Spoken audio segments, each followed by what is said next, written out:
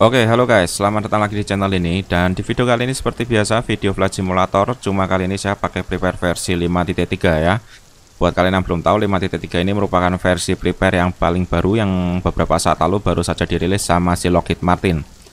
Dan sebelum saya bikin video ini, saya sudah tes performance pakai 5.3 dan FS Lab. Saya terbang deket gitu ya dan memang ada improvement yang saya rasakan yaitu stuttering yang biasa saya keluhkan di FS Lab itu mulai berkurang ya. Meskipun masih ada pun itu mungkin karena PC saya yang sudah agak tua ya. Dan di video kali ini saya juga masih mau tes performance tapi kali ini saya tesnya dengan terbang yang agak jauh. Maka dari itu kali ini saya pakai Aerosoft A330 dengan livery Garuda Indonesia. Untuk rutenya sendiri kita akan berangkat dari Soekarno-Hatta dengan tujuan di Hong Kong flight time kurang lebih sekitar empat setengah jam dan tanpa berlama-lama langsung aja kita ke cockpit untuk pre-flight virtual flight kali ini.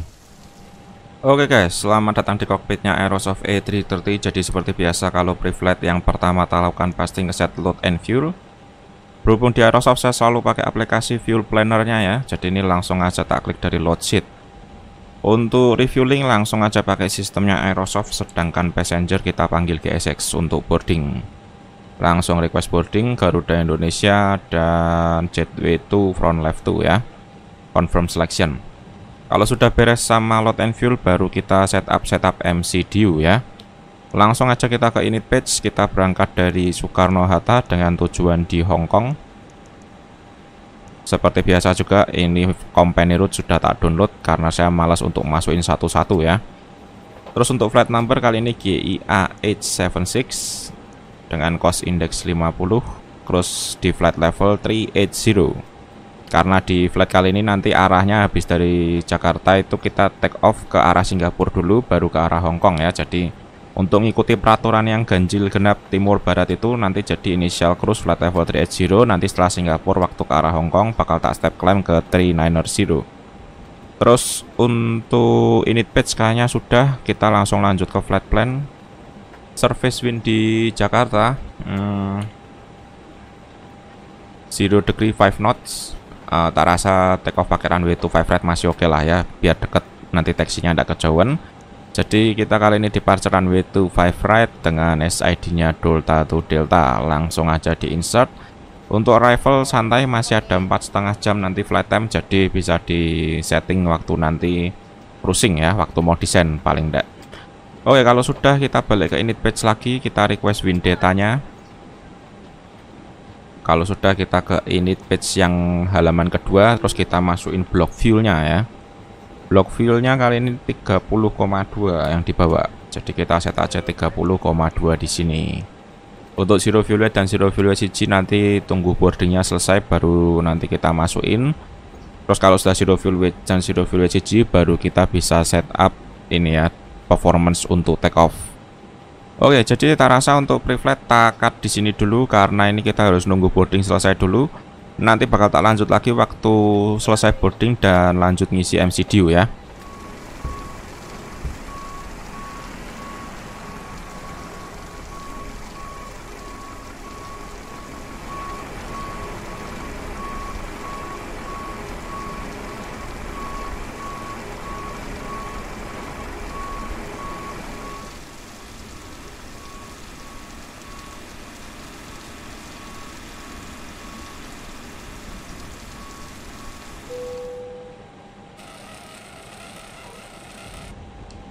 Oke guys, lanjut lagi. Jadi ini barusan boardingnya selesai ya.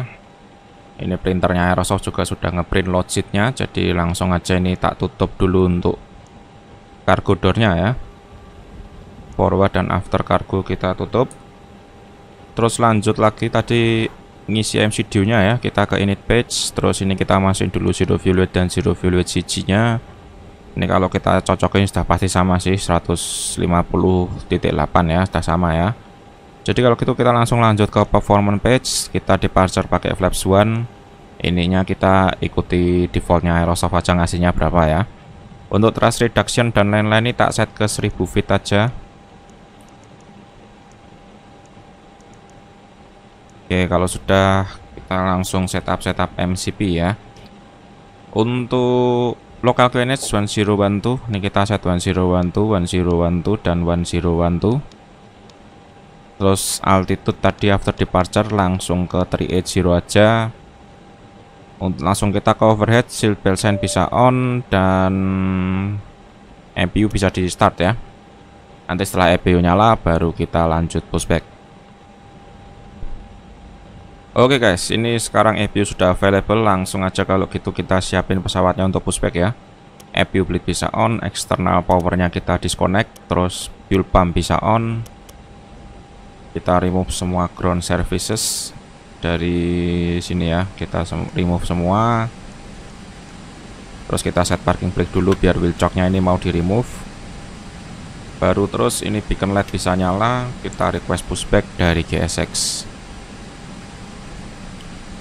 Dan ini kebetulan wind di Soekarno Hatta sudah ngupdate surface wind jadi 29er silo 11 knots jadi bener departure pakai runway 25 right. Dan ini rencana pushback nose to the right nanti taxinya via November Charlie 3, November Papa 2 dan November 1 terus masuk ke runway 25 right untuk take off.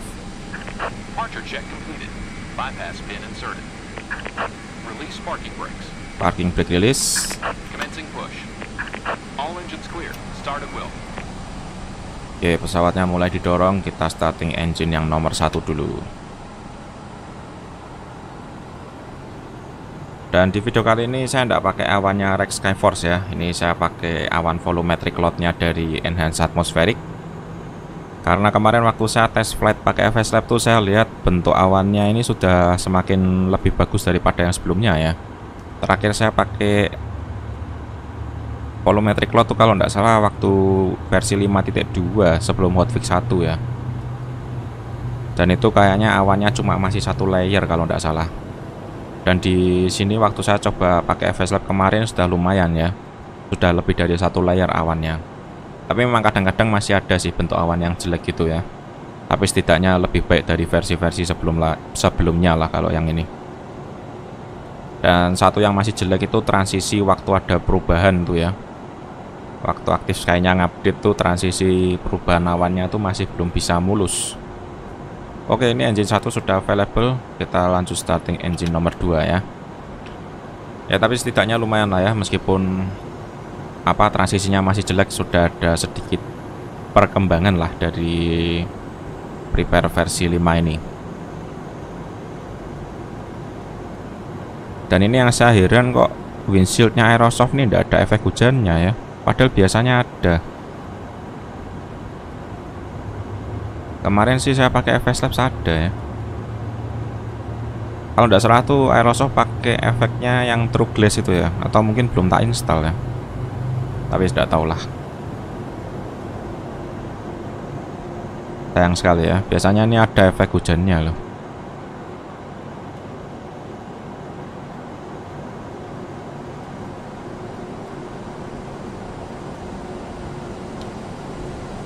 Oke ini engine 2 sudah available. Ini GSX juga sudah minta set parking brake langsung aja parking brake di set. Terus ini nunggu sampai hilang dulu tulisan available nya kalau gitu langsung aja ini engine start switchesnya set ke normal. Terus ground spoiler bisa di arm dan flap 1 untuk departure ya. Nggak usah pakai flight control check langsung aja auto brake set ke max. Terus EPU bleed sama EPU master switch bisa di set ke off dan biar tidak lama nunggu prosesnya GSX langsung aja ini takat waktu taksi. Nanti kita lanjut lagi waktu sudah mau departure dari runway 25 right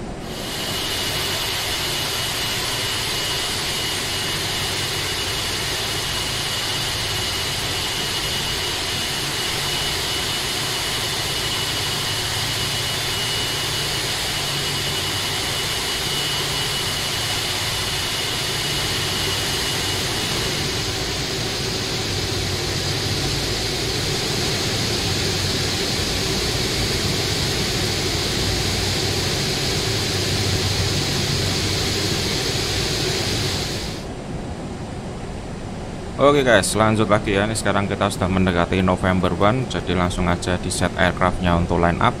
Weather radar bisa on predicted wind ke auto tiketnya ke TERE dan strobe lightnya bisa on ya. Ini visibility-nya buruk banget ya cuma 2 km dan ini weather radarnya merah semua ya. Oke ini kita kurangi kecepatan terus kita masuk ke runway 25 red lewat November One ini ya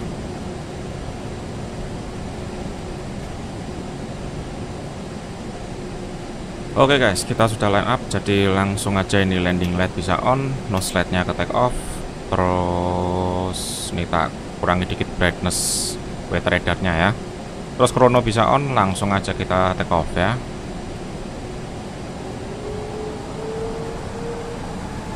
Ya ini kita tunggu engine-nya stabilize. Oke, terus kita set ke take off thrust ya.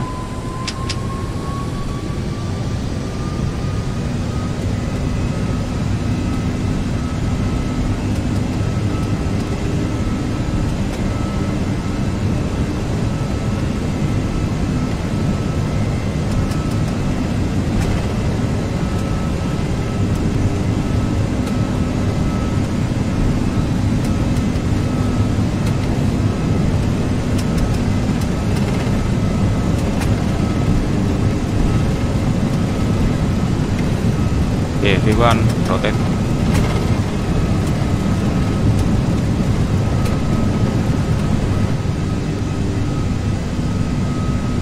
Positive climb, kirap.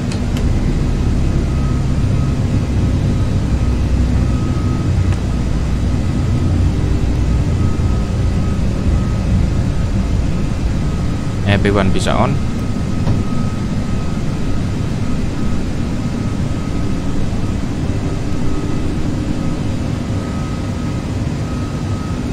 1000 feet climb thrust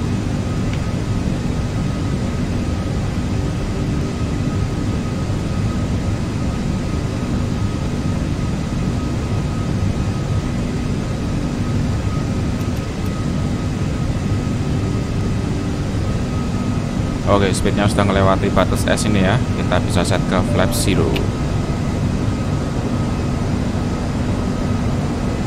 lap 0 berarti ground spoiler bisa di disarm terus nose lightnya bisa set ke off ya oh ini ternyata belum ke on ya cuma ke auto tadi seatbelt sama no electronic sign jadi langsung aja di set ke on ya Oke okay guys, jadi tak rasa untuk departure segini aja. Ini pesawatnya tak biarin ekotest ID. Kalau begitu seperti biasa, ini tak kasih sinematik sebentar, terus nanti kita lanjut lagi waktu sudah mau landing di Hong Kong ya.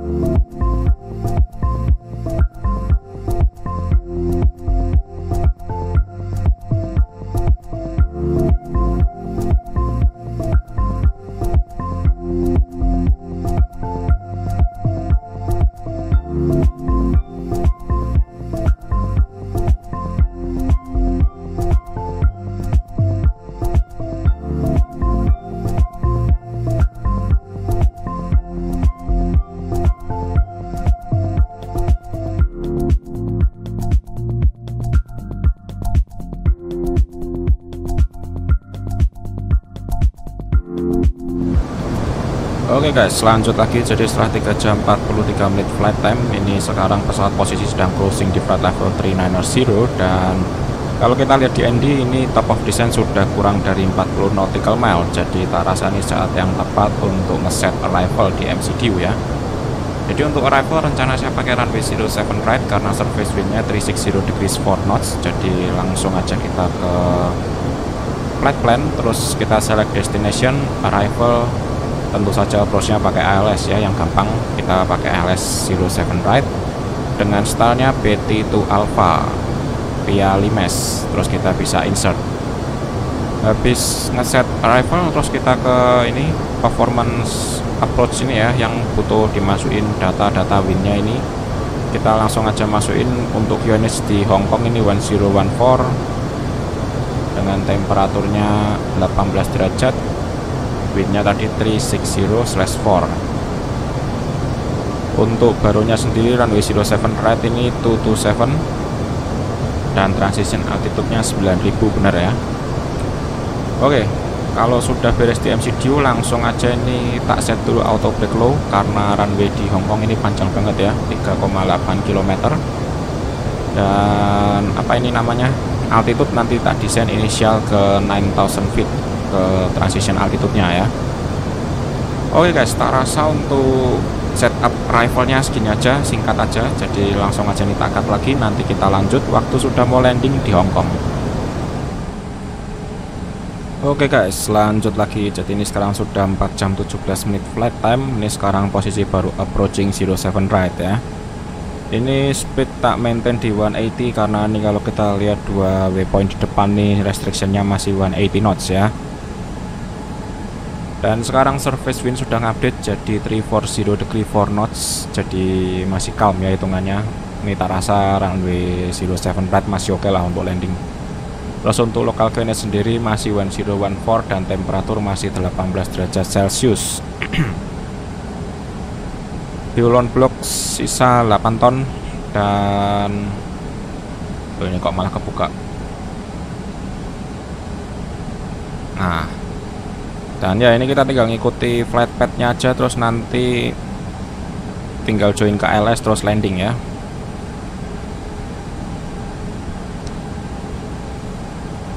Dan kata orang-orang ini Aerosoft A330 ini salah satu add-on yang paling gampang dibuat butter landing. Coba nanti ya landingnya bisa atau enggak. Soalnya saya tuh kalau landing selalu kisaran 200 sampai 300 fpm ya jarang-jarang bisa landing seratusan fpm kalau pas pernah pun ya, norak banget ya sampai tak bikin video landingnya aja. Kalau yang kalian pernah nonton itu video landing di Palembang pakai Sibu itu ya. Pertama kali bisa landing lumayan mulus langsung di video ya. Norak banget ya. Tapi cobalah kita lihat di video kali ini apakah bisa landing mulus. Kalau enggak ya sudah. 2500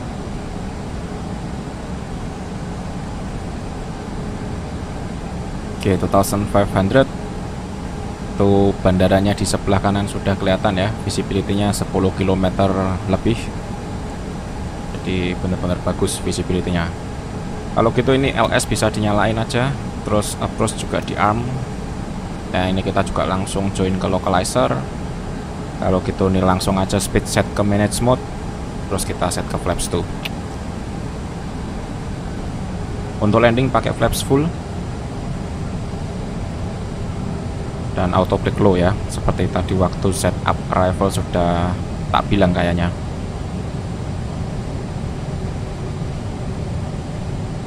Oke kalau gitu langsung aja gear down.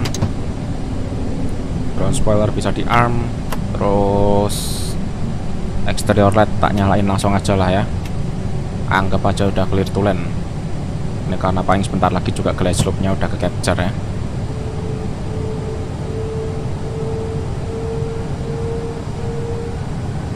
Oke lanjut flaps 3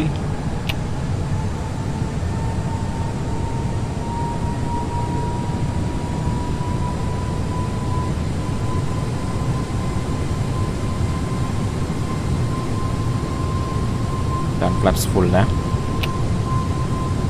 Pesawatnya sudah fully config to land tinggal tunggu deket runway terus nanti disconnect autopilot seperti biasa ya kayaknya altitude goronnya ini ya 5000 feet.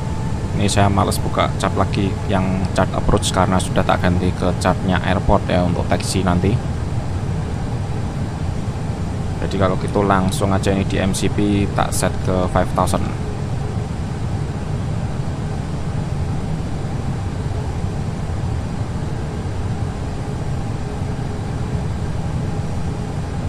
ini sekarang posisi windnya masih 8 knots ya Oh ini sudah mulai berkurang.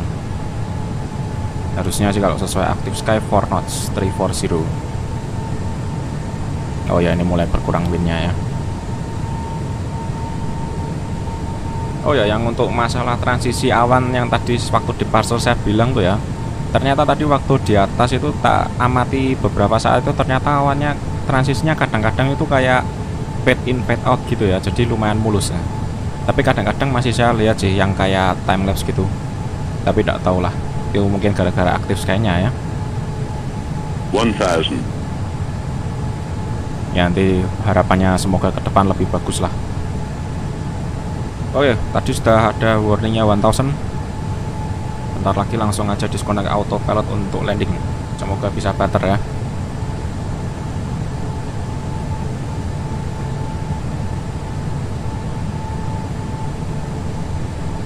Nah ini FPS nya mulai ngelonjak ya. Tapi sudah normal lagi ke 31 Masih bisa diterima lah ya Kan waktu approach Oh ya langsung aja autopilot disconnect.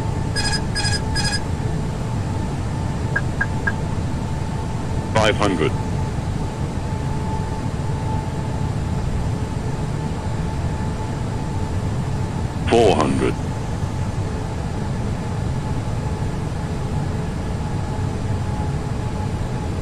100 above.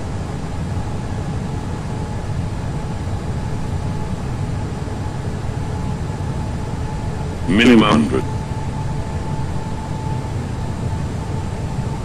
100. Light slope. Light slope. 50. 40. 30. Light slope. 20. Retard. 10. 5. Okay, touchdown. Tidak begitu center line tapi tidak apa-apa lah ya. Oke reverse green.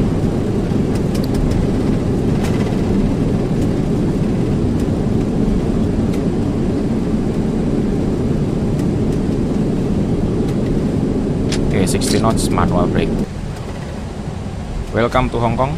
Flight time 4 jam 23 menit ya nanti kita lihat berapa feet per menit landingnya waktu staf parkir waktu printernya Aerosoft ngeprint itu ya.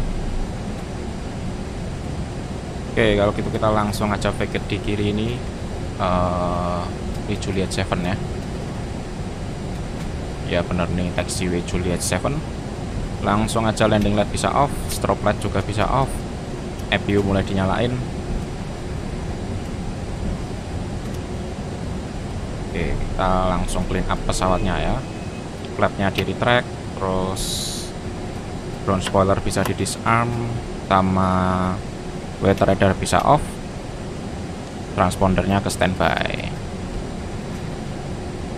Oke, ini tadi untuk gate-nya sendiri sudah pre-select di GSX stand Sierra 45 ya. Oke, itu ground crew-nya GSX ya, Sierra 45 ini kalau gitu langsung aja runway turn off bisa off dan taxi lightnya bisa off ya. Ini Sierra 45 di depan. Kurangi kecepatan kita belok di sini Sierra 45 PDGS nya kok enggak nyala ya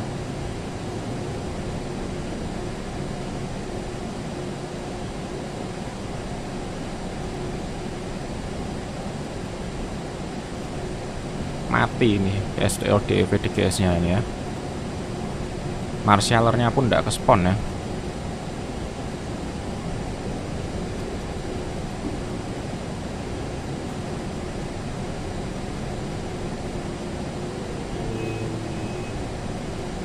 Oke kalau gitu kira-kira aja lah ya. Oke stop. Parking brake bisa di set uh, EPU bleed on terus kita matiin engine-nya ya. Nah ini dia printernya Aerosoft langsung ngeprint nih. Oke sebelum kita cek uh, landing rate uh, tak matiin dulu seat belt sign sama beacon light. Terus kita cek outset view dulu. Ya kurang dikit ya sama kurang ke kiri dikit ini parkirnya tapi tidak apa-apa lah. Oke berarti kita tinggal cek ini. Astaga malah tak klik kanan es bodo amat lah guys ya. Harusnya tak klik kiri untuk ngecek loh. Ah sialan. Eh berarti intinya untuk flight kali ini sampai di sini ya. Dari Jakarta ke Hongkong pakai Aerosoft A330 Garuda Indonesia. Untuk prepare versi 5 sendiri versi 5.3 maksud saya uh, di performance benar-benar ada improvement. Untuk visual di awan pun juga tak rasa ada sedikit improvement ya. Jadi kalau mau upgrade silahkan upgrade ya.